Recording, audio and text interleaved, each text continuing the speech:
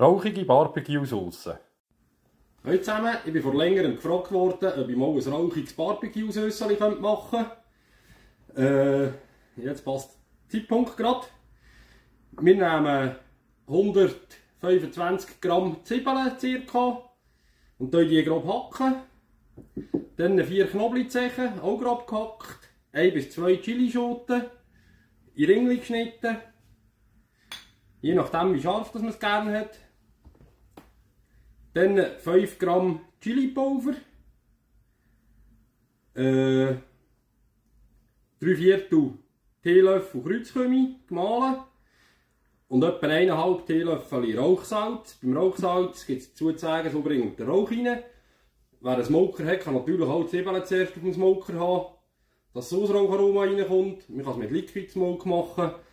Ich nehme das Knoblauch Chili Rauchsalz vom Bünzli. Das empfiehlt sich für das hervorragend.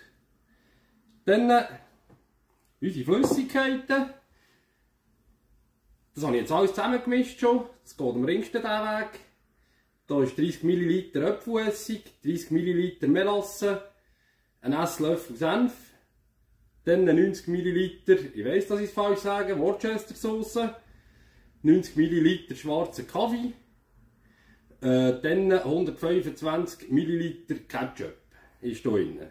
Plus 30 ml Zitronensaft. Das Ganze schnell ein bisschen durcheinander rühren.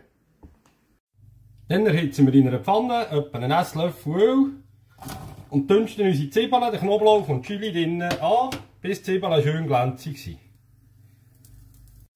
Wenn die Zwiebeln schön glänzig, sprich glasig sind, geben wir alles andere dazu und kochen es kurz auf.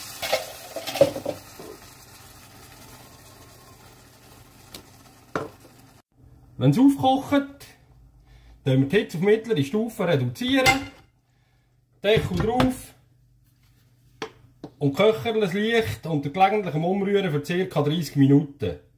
Wer es nicht gerne so scharf hat, muss auch beim bisschen aufpassen. Vielleicht weniger nehmen. Und wer es gerne noch rauchiger hat, kann natürlich mehr Rauchsalz oder Liquid Smoke nehmen.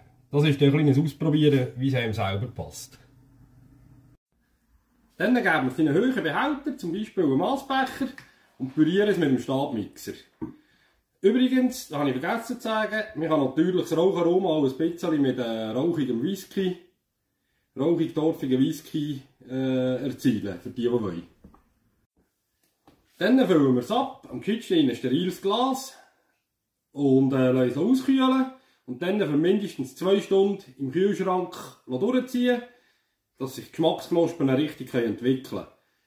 So könnt ihr es nachher gut zwei Wochen im Kühlschrank haben. Man kann es aber natürlich vor dem Brauchen auch noch mal erwärmen. Ich wünsche einen guten zusammen.